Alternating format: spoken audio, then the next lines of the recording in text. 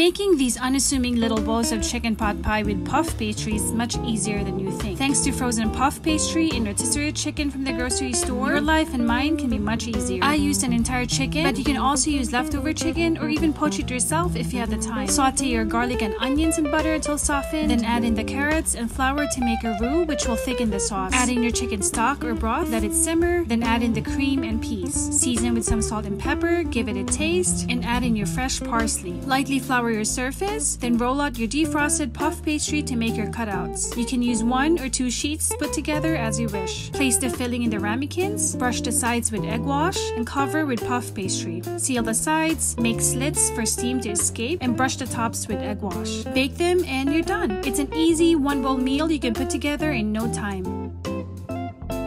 For this recipe and more, visit recipesbynora.com.